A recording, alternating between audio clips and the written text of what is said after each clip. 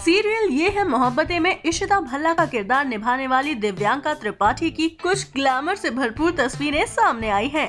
इन तस्वीरों में दिव्यांका बेहद अलग अंदाज में नज़र आ रही हैं। वो काफ़ी स्टनिंग और सेक्सी लग रही हैं।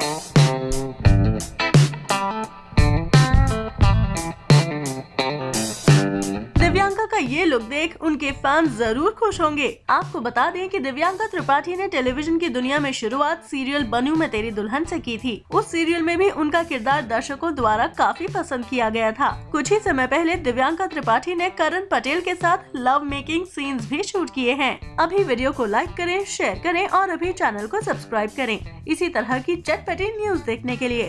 फिर मिलेंगे मसालेदार खबरों के साथ। Bye bye